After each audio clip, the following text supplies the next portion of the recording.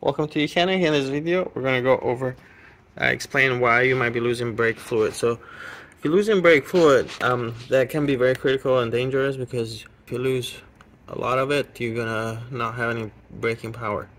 So, it's normal for the brake fluid reservoir to drop a little bit as your brake pads wear because the piston moves out and, and the back fills, uh, gets filled with brake fluid. So, it's it's okay, but you shouldn't really be going below the minimum level on the reservoir. If you're going below the minimum, even if your brake pads are worn front and back, you should be right at the minimum.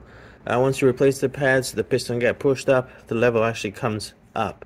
But if you keep losing, if you put uh, brake fluid and you're losing it, the first thing that you need to do is you want to check under the car, check the lines, uh, see if you see any drip, oil drips on the ground. I'm going to show you one vehicle is losing brake fluid and if you look carefully here you can see a brake fluid right here but it's actually leaking from the piston. This is the piston that pushes the brakes mm, out. And uh, normally if there's no leak at all what we'll do the piston will move out. It will fill the back of that room there chamber with brake fluid. And that's why the level of the brake brake fluid reservoir will go to the minimum as more fluid comes in here but if you're losing fluid, like in this case, this rubber is actually filled with brake fluid and it's actually pressurized. There should be no brake fluid there. Brake fluid should not leak out uh, outside through the seals. This is the piston that pushes the brakes out.